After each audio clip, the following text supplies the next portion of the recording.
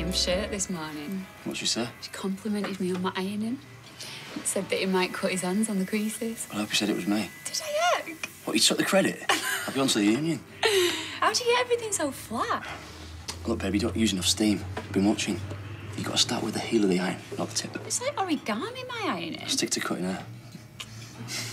Remind me what you're waiting for. Uh, just two coffees, but I think Roy's gone to Colombia for the beans. I'm on it. Have you thought any more yet about Ray's offer? Time's not right. The prices, though. Yeah, but the factory gives us an income for the rest of our life. It's like a pension. So could the barbers. The factory's more reliable. Is it? You know, with most of production moving to the Far East. It's a wonder that place is still going with them idiots in charge. What idiots? 50 centres. One of them's your brother. Yeah, exactly. Look, I know you're disappointed, but... Everyone always needs their hair cutting, don't they? Yeah, but not for 20 quid a pop. I mean, how many pandemics and recessions can you survive charging that? Well, if we go on the bones of our backsides, I can always rent you out, I suppose. Hey, Mobile lining. well, satisfaction guaranteed. Where did you learn it anyway? Was it the army? Mum, Oh. look, we'll find somewhere for you eventually, I promise. Just gotta bide our time. Coffee times two. At long last. Leave a message. Todd, hiya, uh, look, it's Mum. Listen, I've raided an ISA. I can get my hands on 1,300 quid, so I'm going to withdraw it today. So let's just pay him off and put an end to this, eh? Hiya. What do you think of this new top? I can't really tell because this label won't go over my shoulder. Mm. If in doubt, take it back. You'll never wear it. Mm. Oh. How are you since yesterday? You know, all the fun and games slash trauma. Could have done without it. I bet you could. Morning. Morning. Morning. Oh, what this? No, I, I just pulled it at random from the back of my cupboard. Right. Can I go upstairs and use your big mirror? Do you normally ask? No. Oh, Violet's text. Dylan's going to come and stay for half term. I presume that's okay. What's this about? Once again, I'd really like to apologise. I'm going to the bank. Well, what time will you be back?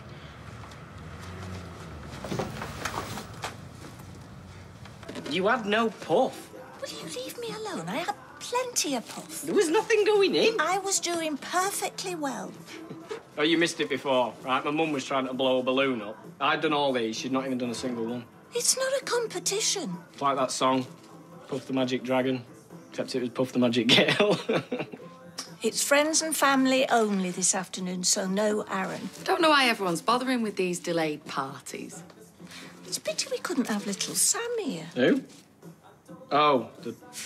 Right, well, I'm going to go and see Roy and Nina. Oh, I'll walk you over. The plan is for Sarah to pick the birthday girl up at two o'clock, and I've asked Ken and Rita to be here at half past. Mm, party central. All the movers and shakers. it's awful. What about Nick? No, he can't. He said he's going to be at the hospital all day, so... Nine? Nine sisters, although five of them are only half sisters. What, oh, oh, were you the only boy? Apple of my mother's eye. Yeah, I bet you were. what is he doing in there? But he was always the same. Last to be ready, always forgetting something. He's like a woman. Well, well, you'd know, wouldn't you, growing up with that lot? What about you? Any brothers or sisters? Nah, classic only child. Extremely self-sufficient, bright, ambitious, controlling, occasionally overbearing. Oh, here he is. Oh, morning. Got yourself sorted now, have you, madam? Nine sisters, this one, did you know? Yeah, I knew we had a few. Are we right? Yes. Oh, actually, no, left my hand on, on the bar. Oh, my two shakes. Off for a walk, then? Yeah, she likes to get me doing a few steps, you know. Well, it's important to look after the elderly. I'll tell you what, though, you're a lucky man. She's a flirty little so-and-so, isn't she? Look, I'd love to help you out. No, you wouldn't. You'd hate to because you're a gossip and you're a liar. Got it. Come on. Have fun.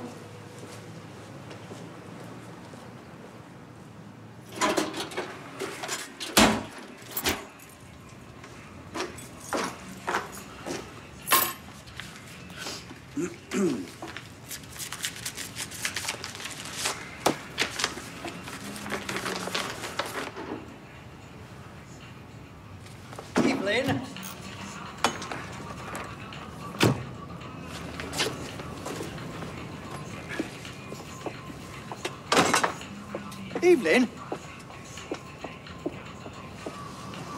It's Kevin here, Ty. What? It's Kevin. Uh, yeah. Kev? Hello, Gary. Know anything about that? What is it? It's a letter from a solicitor claiming to represent the person or company that owns my shop. Tell me it's a scam. Look, I should have told you before now. I don't own a building anymore. I had to offload it a few months back. Who to? Oh. New landlord. That's the name of the company, but I'm no one name to give you, mate. Yeah, now they're banging the rent up. Well, that's out of my hands. Have you seen how much by? For that done? Yeah, exactly. It's thanks for keeping me in the loop. Look, I didn't know this was going to happen. Yeah, well, this is what I think of that.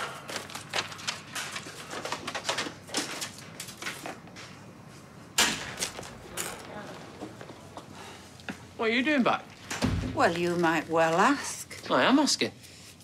That inflatable mattress that you lent him, What about it? it had a hole in it. It was flat as a pancake, and he's got a bad back. Oh, so that's why you had to come back? Yes, what else were we supposed to do? Well, he must have punctured it. I've had that mattress years. Ever since I went camping in North Wales with Kirk. Well, I should chuck it in the bin if I were you. Oh, I'm sorry it didn't work out. Yes, well, everybody's sorry it didn't work out. So you come straight to work? Yes, yes, I requested this shift, I did. What? Hmm. Right, I'll come pick you up when it's nearer time, yeah? Yeah. Hey, David, I've just had a message off Audrey inviting me to a delayed birthday party. Yeah, it's just nibbles at ours. Why didn't you tell me before? I'm fully booked this afternoon now. Well, I thought she'd have told you. No, she didn't. Oh, well. She's 80 now, so, you know. So you're not having it in the garden then, I take it? No, we're not, but that's what I wanted to talk to you about, actually. What, has he still not been over to check out your sinkhole? No, nothing. And he's blanking my messages as well. Right, I'll remind him now. Do. See ya. See ya.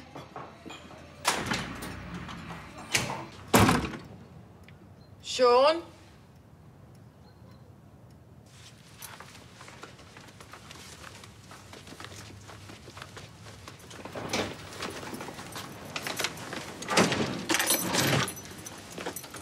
Sean?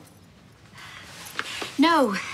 Um, he went to return that top based on your advice. I, I thought he looked rather dashing. What are you doing home? I've come to get you.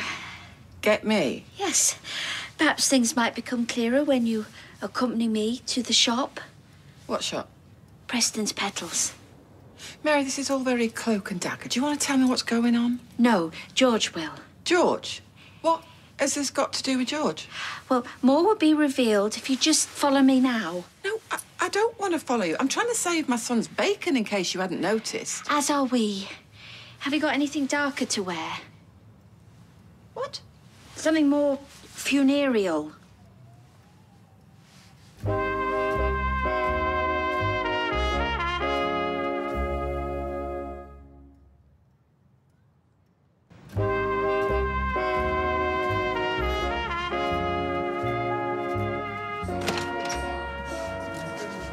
How'd you get on?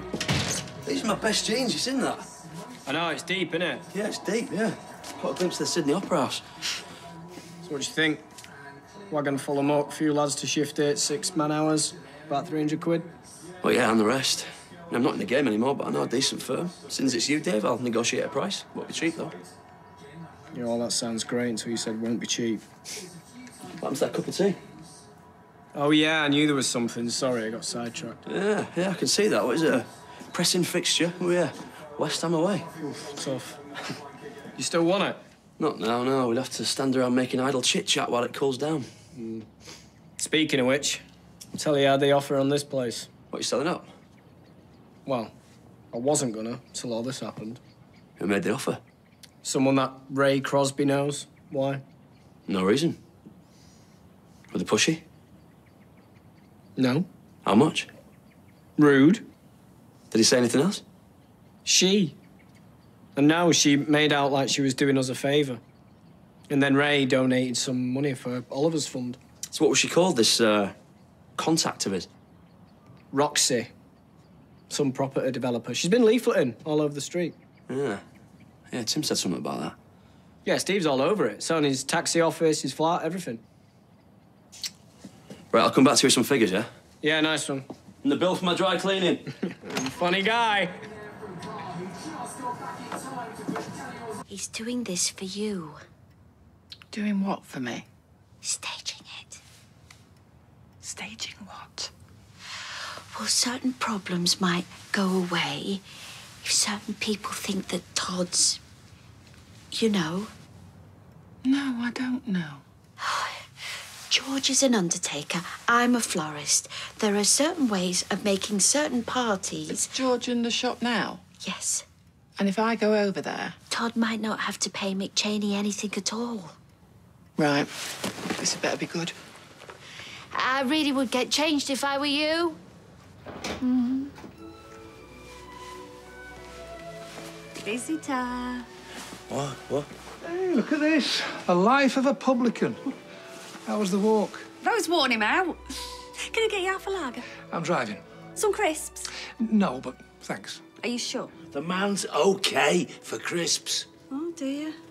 He's been grouchy all day. See if you can talk some sense into him. I'll try. Is this really fair? Is what really fair?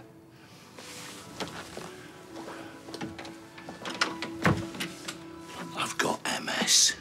I'd be the worst getaway driver in the world. Who said you'd be driving? Well, whatever I'd be doing. Man's a gibbering wreck. Used to have nerves of steel like Superman. I've been through enough. Well, on the subject of fairness, is this really fair? You getting to run a pub without a care in the world, sitting on your backside all day, listen to this racket. I find it very relaxing. That little park up the road. Meet me there at half past three, and I'll talk you through the details. What details? You don't get to say no. You can't force me into this. Jennifer? All right, all right. I'll listen to what you have to say, but I'm not making any promises. There's a good boy.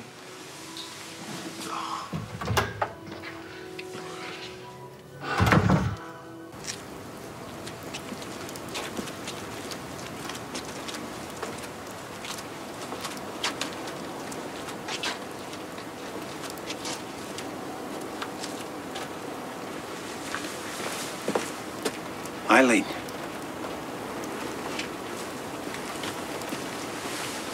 You made it then.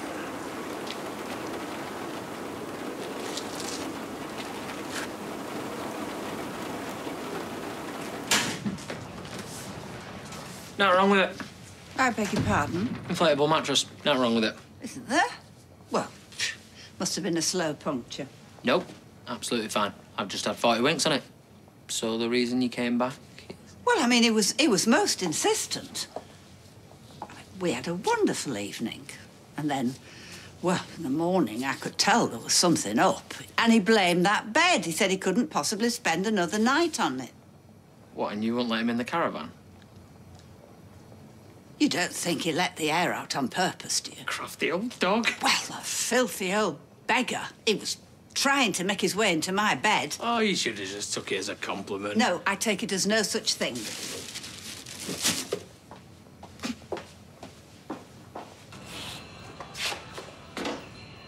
What now? The name Roxy mean anything to you? Oh, there's a club up in town and Roxy Music, quite like Bryan Ferry. This company you sold to, it's Ray Crosby, isn't it? Can't say. Why did he want it? You know what these blokes are like? The world's a big monopoly board. Yeah, well, Mayfair and Bond Street are one thing, but Uh, that's a decent piece of real estate. real estate, you've been watching too much American TV. Okay, land, building, property, whatever you want to call it. Well, I think you called it a dump earlier. Look, he paid me fair and square. It's up to him what he does with it. Do you trust him? I don't trust anyone. Look after number one. That's my motto. You don't like him, do you? I never said that. You didn't have to. Look, I've got a crack on.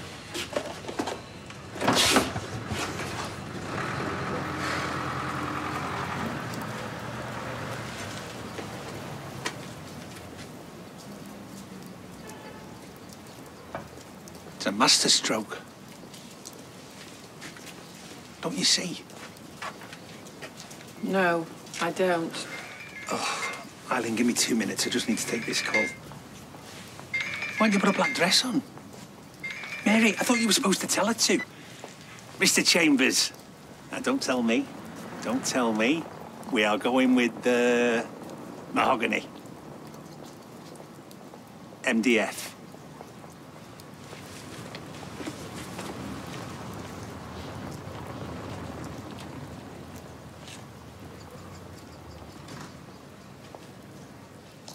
You'll keep us afloat single-handed, you will. I know, I should probably make my own lunch, really.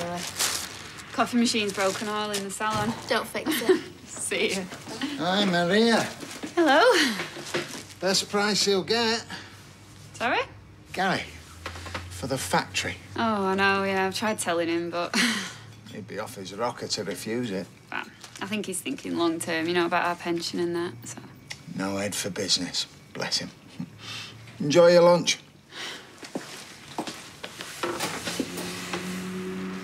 What can I get you? Pick a bun. Any bun as long as it's got cream on it. Got some Bang banging eclairs. All these new Belgian buns with a cherry on top. Give me a Belgian bun. Don't let Roy hear you saying that. What? Give me one of his many pet hates. Please? Can I have? All right. Please, can I have a Belgian bun? You may. And a cup of tea. Coming right up. That took a while. Yeah. Yes, I had to go to Freshco's. I bumped into Gail. It's uh, Audrey's delayed birthday today. All these delayed birthdays. Get Shona on the subject. She thinks they should all sack 'em off. So, you miss your birthday. Get over it. Where is she? Shona. She was just sitting there, chatting to some builders. Oh.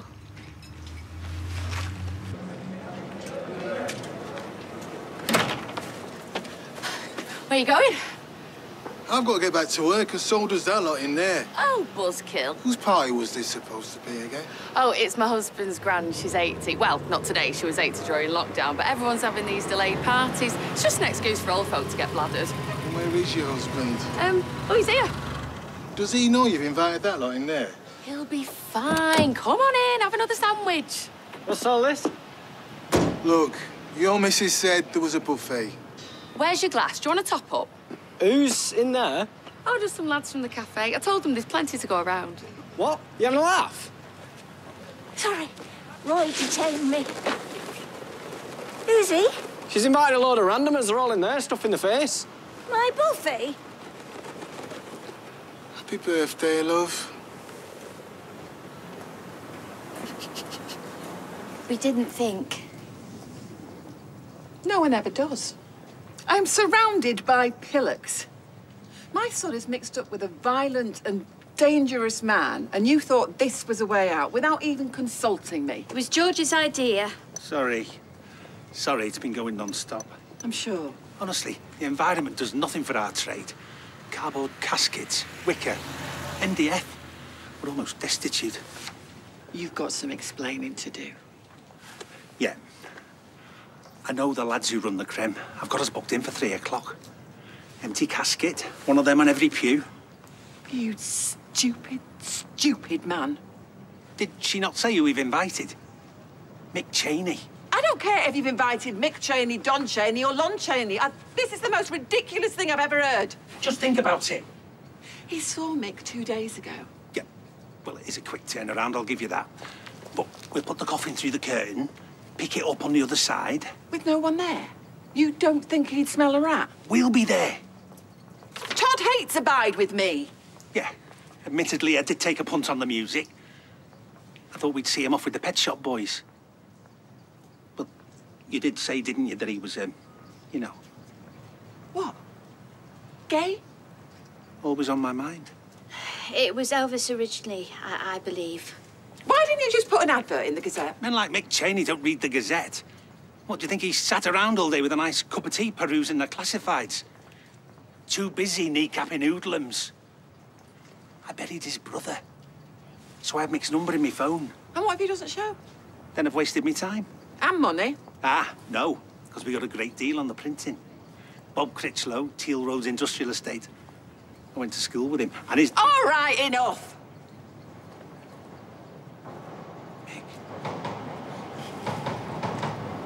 So? It's true? Oh, I had so much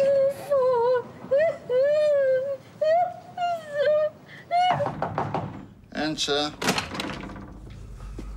All right. Thought I might find you here. Come in, shut the door.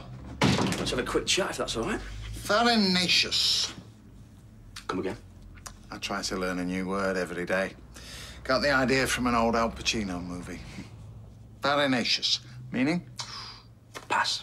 Consisting of or containing starch. It's one to drop into conversation, eh? When I'm next discussing the ironing. If you can think of anything worse. Oh, I can think of one or two things. Given that I served in Afghanistan and I had a conversation about ironing this morning. What can I do for you, Granny? Tell me again what you're offering. 150? Double it. Okay. Just like that. Shall we shake on You want us all to sell up, don't you?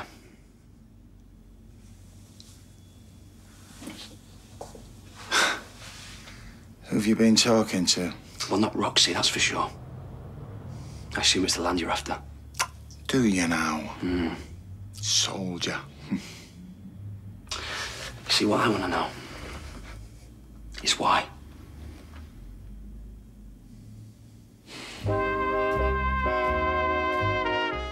And we're back to Coronation Street in half an hour.